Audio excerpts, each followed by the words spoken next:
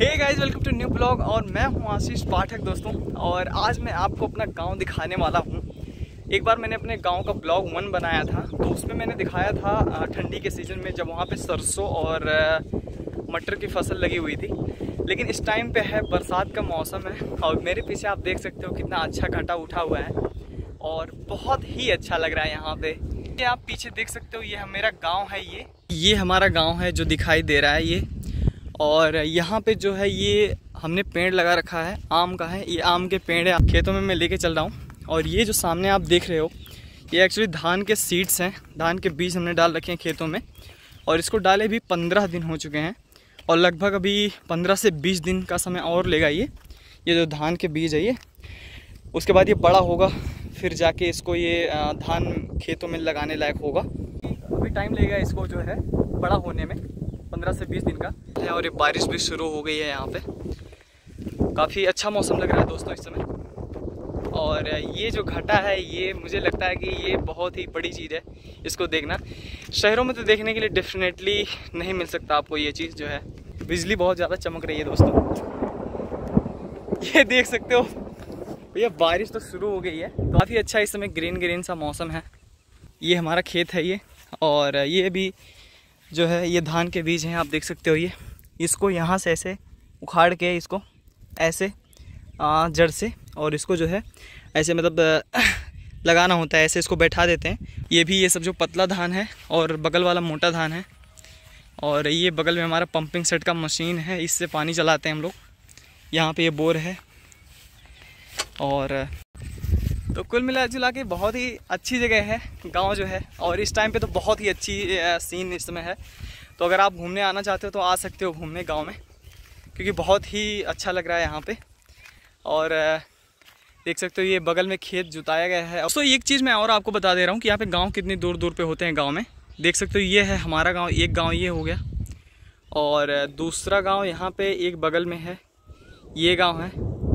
और सामने जो है ये एक दूसरा गाँव है। और यहाँ पे जो ये आपको दिखाई दे रहा है ये है समय माता जी का स्थान है हमारे गाँव का। और यहाँ पे पूजा पाठ मतलब मंदिर टाइप का ये जगह है। दोस्तों ये देख सकते हो यहाँ पे बारिश जो है ये शुरू हो गई है। ये देख सकते हो गिर गई है बारिश। और बहुत ही तेज़ बारिश यहाँ पे हो रही है तो अब हमें भागना पड़ेगा घर की ओर। तो अब चलते हैं भैया घर की ओर और, बहुत तेज़ यहाँ पे बारिश हो रही है। भागते हैं हम लोग नहीं तो फ़ोन बिक जाएगा।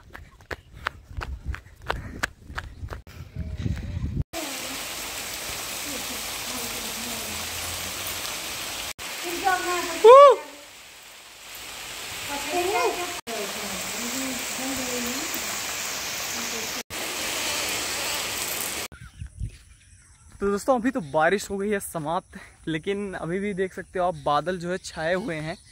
तो खतरा अभी भी है, अभी भी, कभी भी बारिश हो सकती है।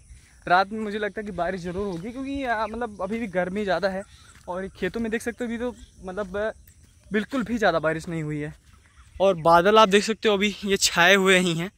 ये घटा आप देख सकते हो अभी उठा है और यहाँ पे बादल ये पूरे नीले नीले दिखाई दे रहे हैं ये। और बारिश के बाद जो गाँव है, काफ़ी ज़्यादा क्लीन नज़र आ रहा है, देख सकते हो आप। तो अभी हम अपने दूसरे खेत की ओर चल रहे हैं, रास्ते में हैं और यहाँ पे गाँव देख सकते हो, ये बादल जो है रेड रेड सा दिख रहा है। काफ़ी ज़्यादा अच्छा लग रहा है ये।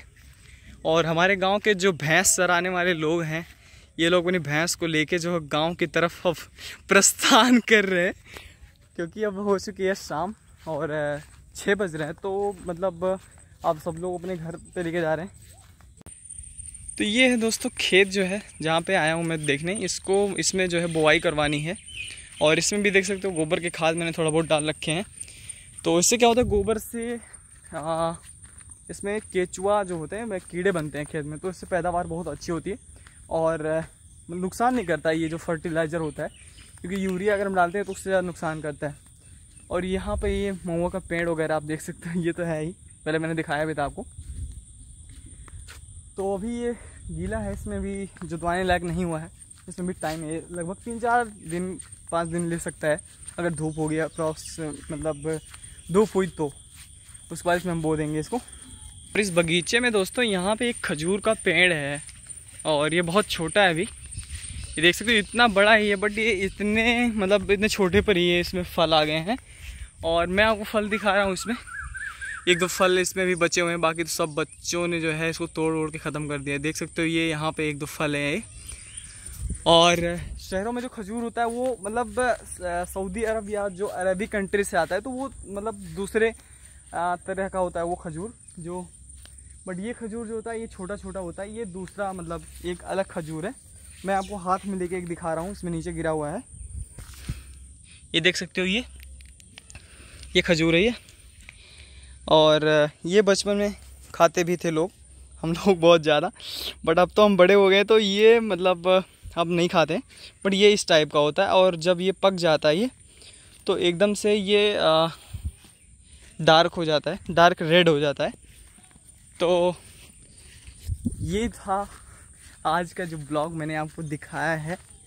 और जल्दी ही अब मैं बनाऊँगा नेक्स्ट ब्लॉग और अब मैं सोच रहा हूँ रेगुलर मैं वीडियोस बनाऊँ, क्योंकि अब मुझे सही लग रहा है काम करना। क्योंकि अभी तक मेरा माइंडसेट क्लियर नहीं हो पा रहा था कि मुझे करना क्या है बट मैं अब सोच रहा हूँ कि अब मैं बनाऊँ रेगुलर वीडियो और आप लोग भी ऐसे प्यार सपोर्ट बनाए रखना, ठीक है? और मिलते हैं एक नेक्स्ट वीडियो में। और मस्त रहा आज का ब्लॉग मज़ा आ गया आज। मैं भी भीग गया वायरस वायरस में। आपको भी अगर टाइम मिले आप भी अगर शहर से कहीं से हो तो गाँव में आओ इस टाइम पे। बहुत ही अच्छी आ, सीन है इस टाइम पे। तो मिलते हैं नेक्स्ट ब्लॉग में। बाय